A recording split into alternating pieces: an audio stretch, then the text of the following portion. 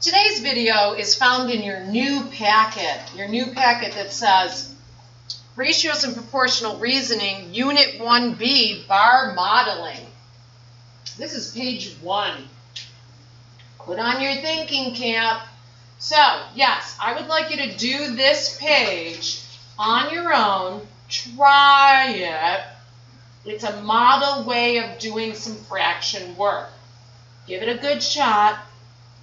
Pause the video. Try these two or three questions. Oh, it's two. Two questions, and then we'll go over them in class tomorrow. So now I'm going on to page two.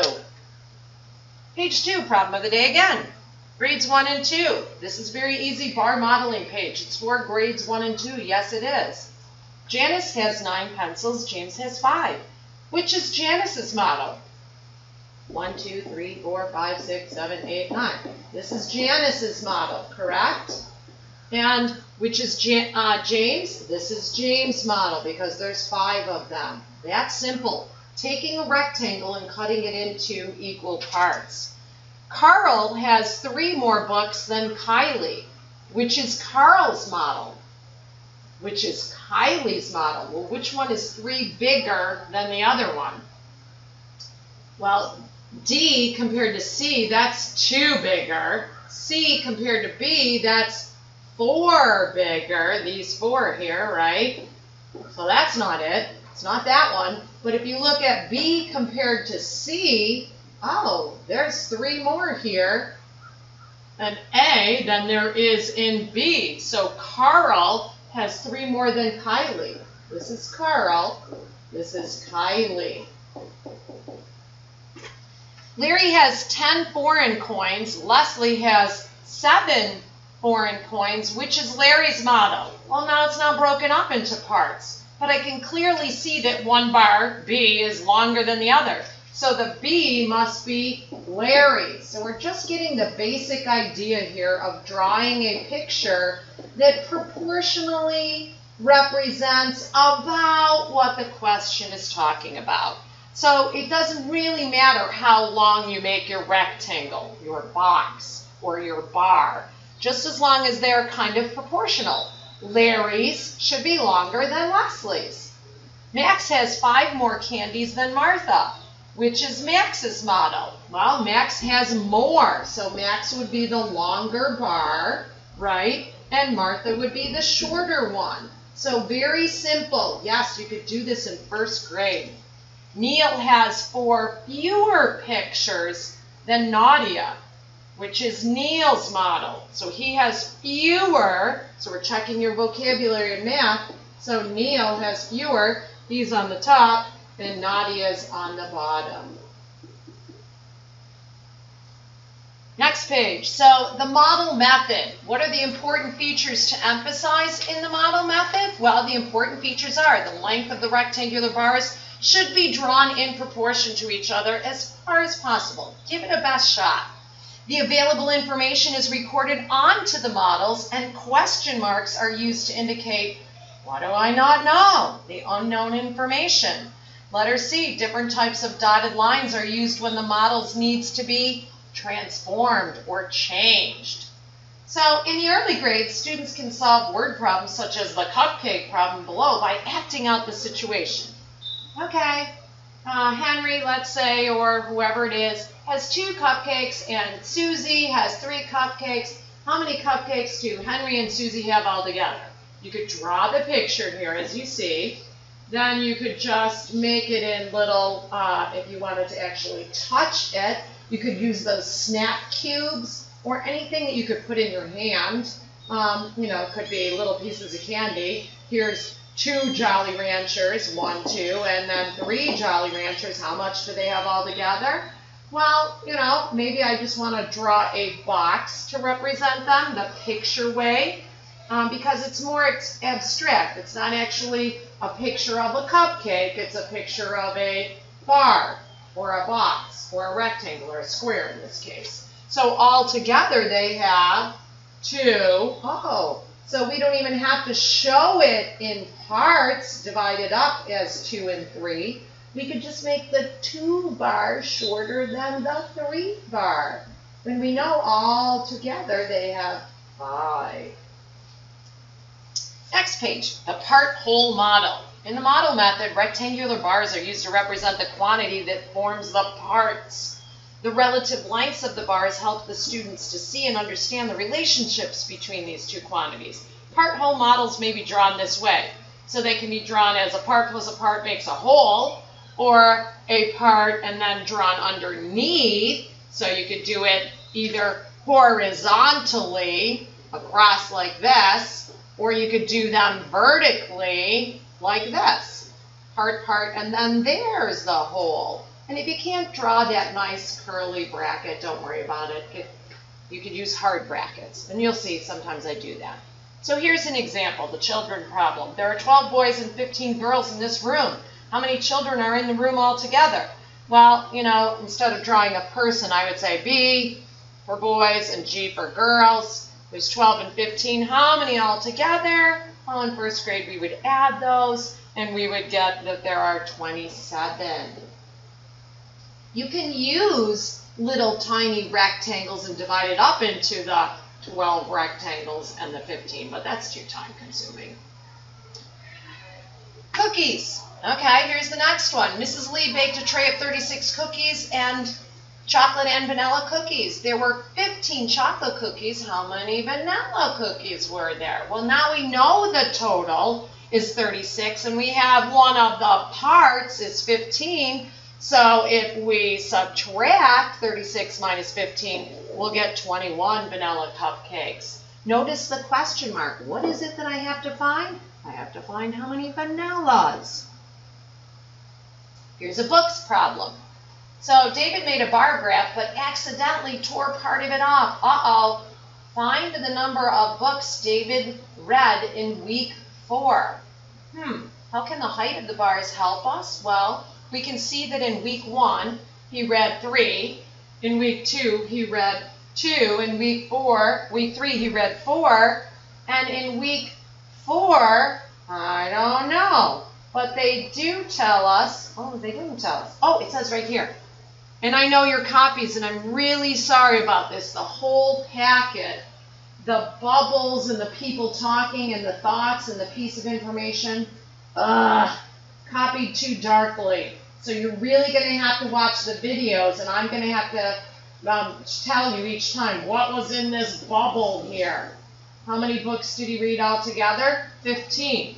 So if I know that he's got 3 and 2 and 4 already read, and I subtract 15, take away 3, take away 2, take away 4, or I add 2 and 4 and 3, which gives me 9, 15 take away 9, oh, this bar must represent 6. So David read 6 books in week 4. Getting the idea here? So guided practice, I'm going to work some of these for you. And Enrico has traveled 11 miles on a 31 mile journey. Find the distance Enrico still has to travel to complete the journey. So you could do it horizontally and say, oh, 11, well, I know the other part's going to be way bigger, so I'm going to draw 11 proportionally. Okay, this is my 11. How many more miles, part, part, but the whole, and again, if you can't draw this, you could just draw arrows like this. Some people like to do this, and then put the 31 down here you can't draw the curly brackets. It's the horizontal way. The vertical way would be, okay, he's gone 11 miles already, and he's going more miles, I don't know. And here's where my question mark would be. And all together, there's 31. So you could draw it vertically. And to get the answer, I'm going to do 31 minus 11 to get the 20, right? So Enrico still has to travel 20 miles. Two apples and a mango cost $4. Two apples and three mangoes cost $9. Find the cost of a mango. Oh, two apples and a mango. So two apples and a mango. So A, A, and M I'm going to use.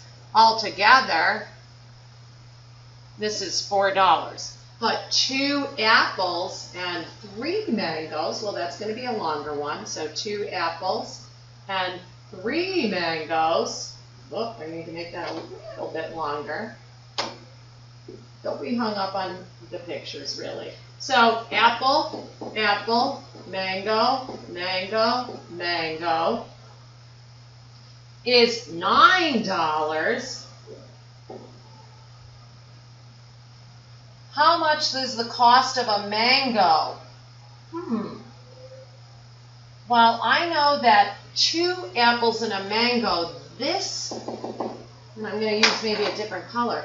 This part of the whole nine is exactly the same as two apples and a mango, this four over here. So I know this part of my model over here has to equal four. And if all of it has to be nine, right?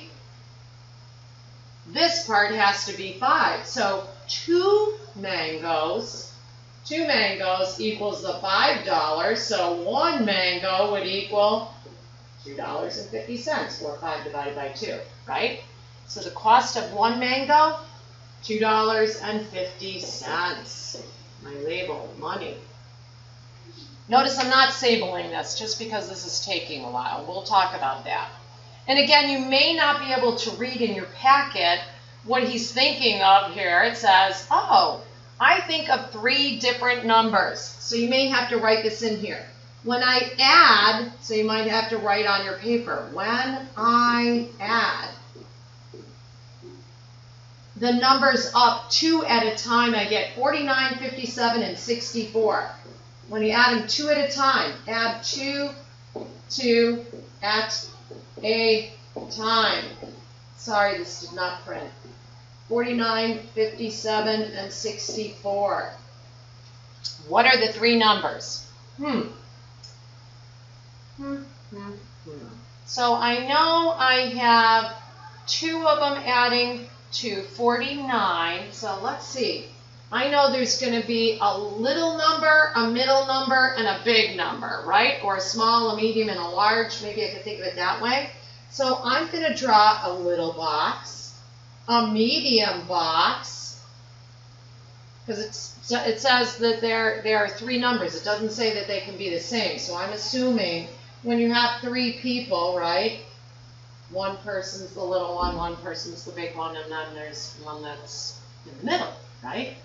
So I know to get the smallest sum, the only way I can do that is by adding the two smallest bars. And to get the largest sum, I have to add the two largest bars. So that's got to be the 64. So what does that leave? That leaves the small bar and the large bar to represent the 57, right? So let the numbers be represented by, hmm, so small plus medium must equal 49, small plus large is 57, and large plus medium is 64.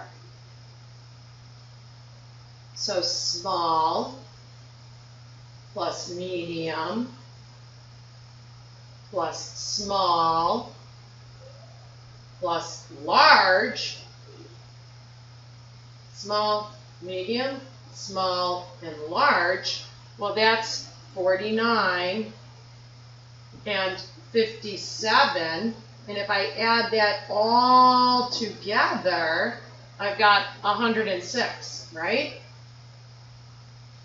Well, I know that the medium and the large, so the medium added with the large, if I add that, that's got to be medium and large. That's 57. So if I take my 106 minus my 57,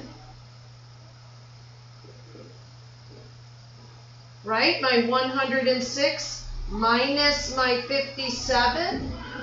Oh, wait. Medium plus large is 64. I said that wrong.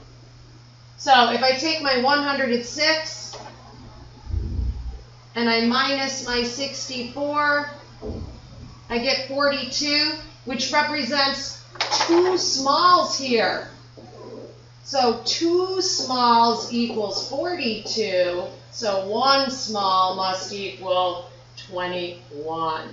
So I know the small is 21, and then if I add small and medium, 21 plus what equals 49, that must be 28. So small is small is 21, medium is 28, and then medium plus large, now I know 28, plus what will give me 64? Oh, 28 plus what will give me 64? 36. So my numbers must be 21, 28, and 36. There are other ways to do this, but that's just one. That's the beginning of bar modeling, and that's it for today.